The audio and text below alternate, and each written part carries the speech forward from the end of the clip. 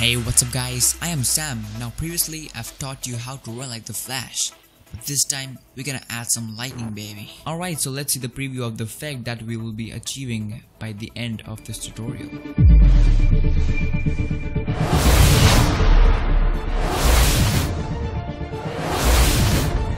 Alright, so I already have a tutorial on my channel named how to run very fast. But this time I'm gonna teach you how to run fast with the lightning. So what I'm gonna do for the sake of this tutorial is I'm just gonna skip this running part which I have already covered in this tutorial and I'm just gonna focus on the lightning part. So let's jump right into it.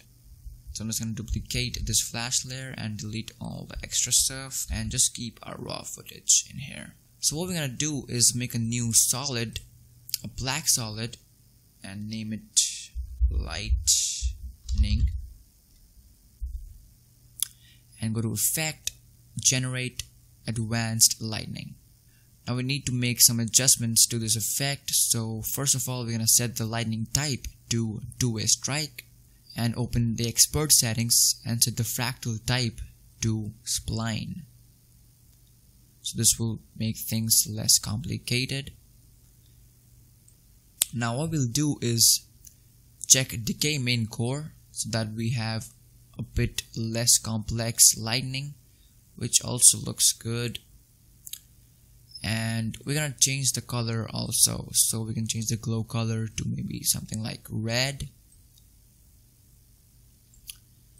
Yes and maybe increase the core radius a bit maybe like 3 and decrease bit forking. Alright this looks great. So for now we'll set the decay to a lesser value like that. Now we want to find the point where we entered the scene. So in this case you can see me entering on this frame. You can just see you can see some of the yellows over here. So what we're gonna do is animate the origin and direction of the lightning. So we'll just move it out of the frame for now and we'll animate in with ourselves. So we can place this here. Hit page down to move one frame forward. And we can increase or move the position of the lightning.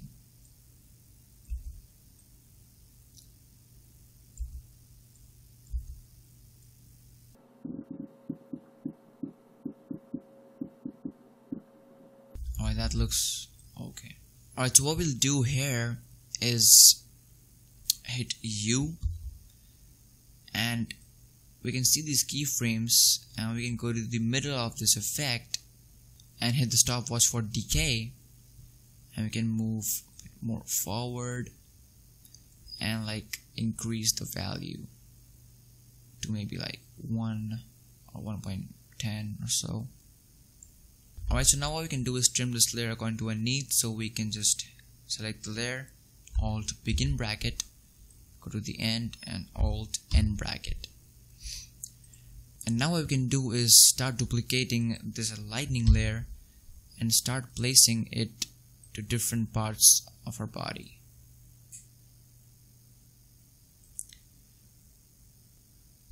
So I'm just gonna animate this again and this takes a little bit time so I'm just gonna make it faster for you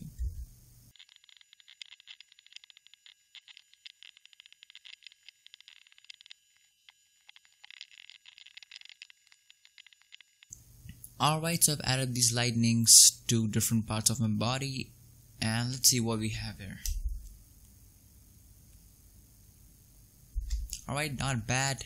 Now what we're gonna do is take all these lightning layers, hit Ctrl Shift C and pre-compose them and maybe rename it to light. And what we'll do is add a bit glow. So we can go to Effect, Stylize, Glow. And maybe we can just play with these values again.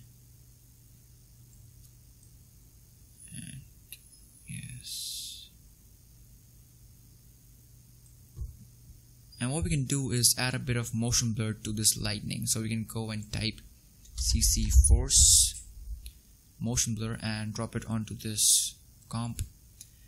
And let's change the motion blur samples from 8 to 12 and the shutter angle to 90 that gives it a bit of motion blur. And if you guys know me I like to make a preset for color correction that I use for most of my projects. So you can just go and make a new adjustment layer.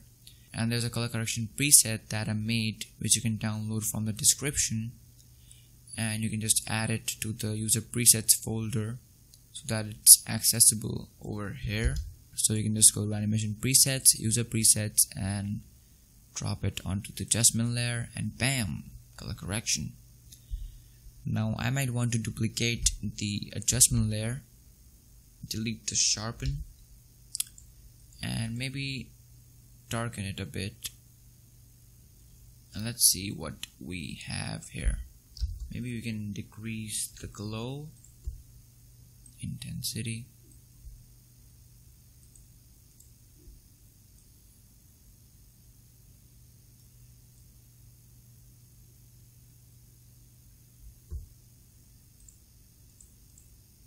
Let's not have the glow. Let's see what happens.